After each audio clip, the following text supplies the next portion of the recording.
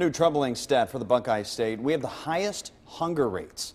Highest. Today, Cincinnati tries to chip away at that problem, literally, rolling out one possible solution for it. Nine on your sides, Julie O'Neill joins us live right now from the West End, where there's actually something new outside the CityLink Center. What's that?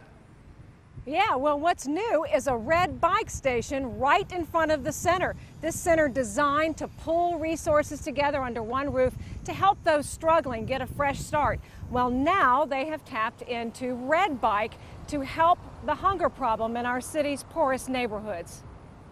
Clip us some basil off here.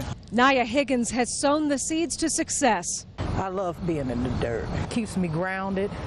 It allows me to know that even from uh, dirt, something can grow. She came to CityLink homeless and now gives back tending the CityLink Learning Garden after starting her own business. I have my own stall down on Findlay Market now, and we sell vegetarian and vegan food.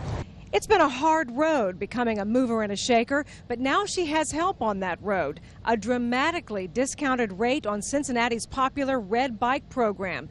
Instead of $80 a year, she and other CityLink clients will pay $5 to help them get to work and food. Which will help me tremendously. It would cut me down on time.